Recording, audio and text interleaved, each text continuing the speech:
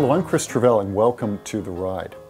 One of the benefits of being a global marketing research company is that we can pull our offices across the world and get a quick pulse of what's going on, whatever the topic, on a global basis.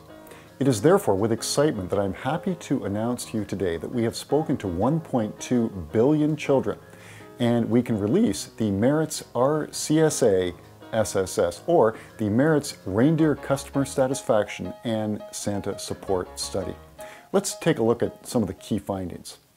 Now, from a methodology standpoint, we did not include Rudolph the Red-Nosed Reindeer because, of course, Rudolph didn't come along till 1939 when he was created by Robert May for the Montgomery Ward catalog, uh, nor did we include Chet, the crazy reindeer from the 2002 Santa Clause 2 movie with Tim Allen because well, Chet was just so far out there, it would have skewed our data. So first measure, reliability and dependability. Very important for Santa on the 24th of December. Well, here Comet led all of the other reindeer.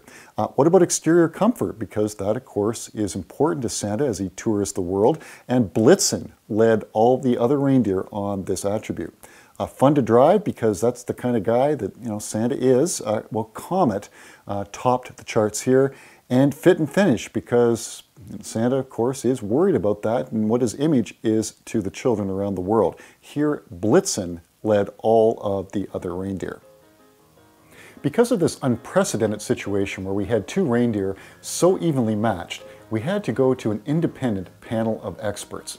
And based on their extensive deliberation, they decided, after many hours, that Blitzen is the reindeer to lead Santa's sleigh on Monday night.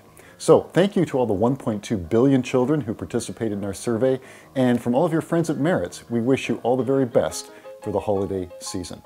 I'm Chris Travell, and thank you for coming along today on The Ride.